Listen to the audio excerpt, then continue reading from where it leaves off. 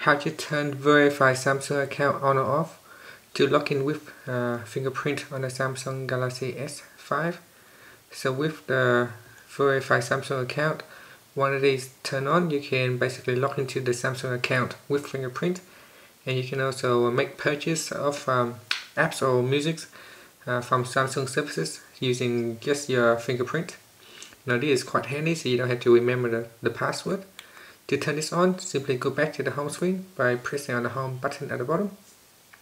Then go into settings and then tap on finger scanner and under features tap on verify Samsung account and at the top there's a switch you can switch it to the right to turn it on so if we go back here go into settings go into account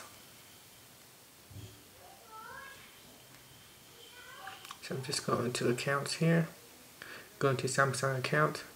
Now you can see this the account normally you would have to put in the password, but now um, uh, without uh, with uh, the fingerprint scanning, you don't need to put in the password for this account anymore.